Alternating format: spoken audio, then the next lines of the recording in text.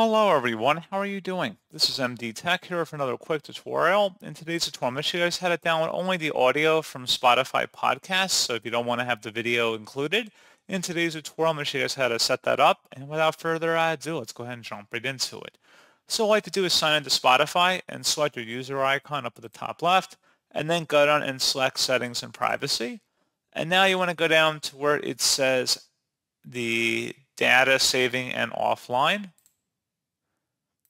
and then scroll down where it says downloads and streaming, audio only downloads for video podcast. Only the audio will save when you download video podcast. Toggle that on to the right if you want to enable that. And that's pretty much all you have to do. So pretty straightforward process on that, guys. And as always, thank you for watching. I do hope that I was able to help you out. And I do look forward to catching you all in the next tutorial. Goodbye.